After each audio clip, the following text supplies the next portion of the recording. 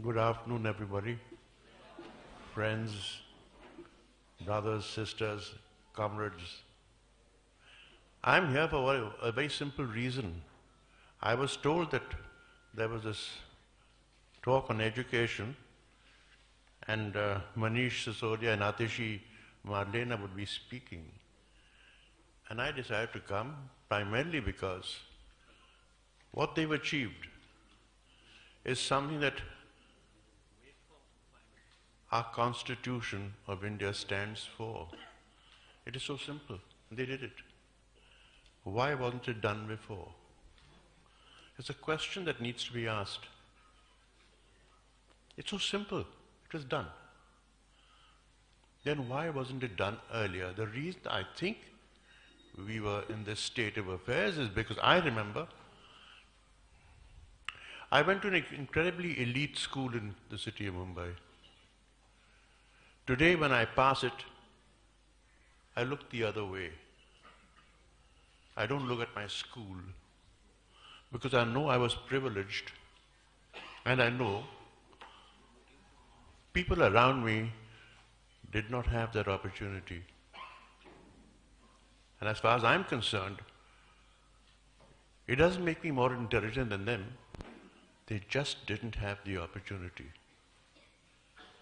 And that's the truth about our country. So, with these thoughts in my mind, when I started making films, I decided to start a school with some very close friends of mine, you know, scientists and doctors and lawyers and filmmakers and painters and musicians. I said, let's start a school in Mumbai, which will be the best school in India.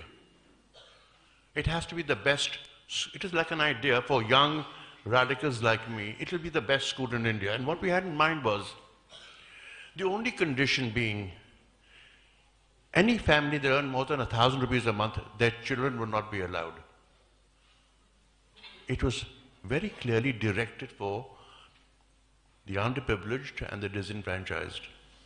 It's because of my earlier experience with education.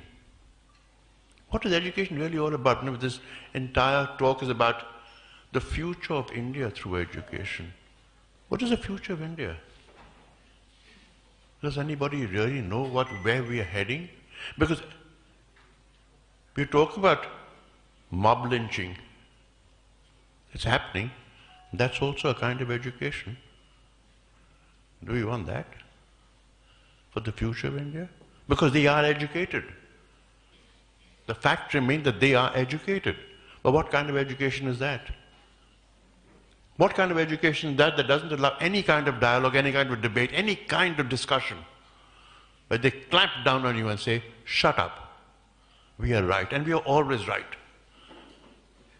No doubts. They're so absolutely sure of themselves that they have the truth on their side. Very frightening. It's very, very frightening. And that's also education. And therefore, I sincerely say this from the bottom of my heart and I ask perhaps questions later to Manish when he expounds further as to how they, they achieved what they achieved. It is to say that education has to be democratic in its soul. It has to be not a, a relationship of a teacher and students there, it has to be a dialogue and a communication between two self-respecting individuals. And that's great education then. And you give them their dignity, the children, and watch them soar. And what I gather, this is exactly what's happened with uh, the students of Delhi public schools.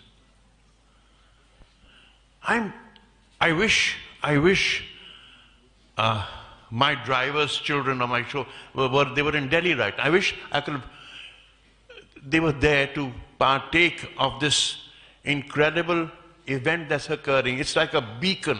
It's like a beacon that all of us must celebrate to say, well done. Well done because this country needs it desperately. We are so blinkered. There's so much hate. There's so much anger. There's so much venom. How do you shake it off? And the only way to do it is to have a democratic education which says, stand by the Constitution of India. And if your education stands by the Constitution of India, you can't go wrong. It is the fundamental right of every child in this country to get a decent education which is integral to his or her life. Thank you, Manish, for doing what you did. And I'm so glad I came here just in support. Thank you so much.